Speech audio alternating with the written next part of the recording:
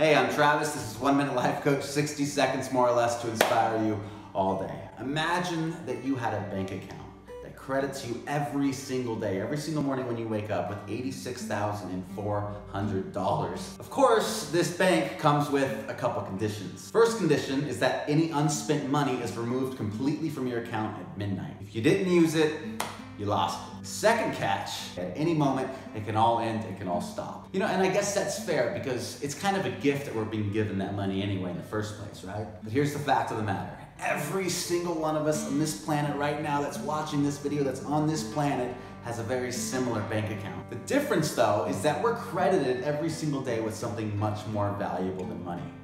We're credited with time.